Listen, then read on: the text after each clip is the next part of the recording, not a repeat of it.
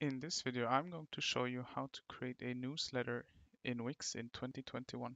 First, you want to log into your Wix account and under My Sites, you want to select the web page you want to add a newsletter to. Let's say how to global blog, click select and edit site, which will open up this page. You will now click site actions in the top right, click edit site, which will now open the Wix website editor. This might take some time. There we go. You now want to scroll down to wherever you want to add your newsletter to. And on this left side, there are these options. Head on over to the plus sign, which says add. Click that. Under this blue option menu, go down to interactive. And then under light boxes, you go to subscribe. Now you have to add an interactive element.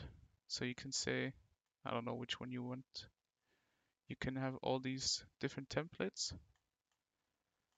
which will then pop up. I don't know, let's say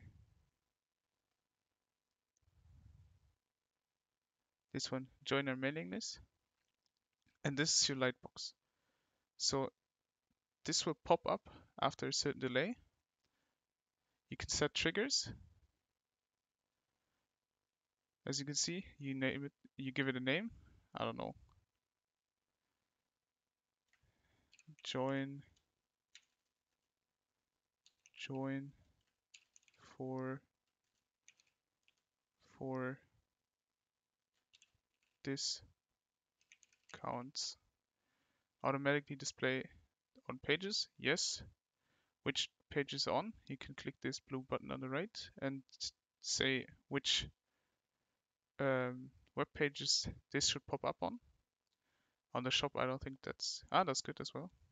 On the about, won't do anything. That's good. And now there's a delay.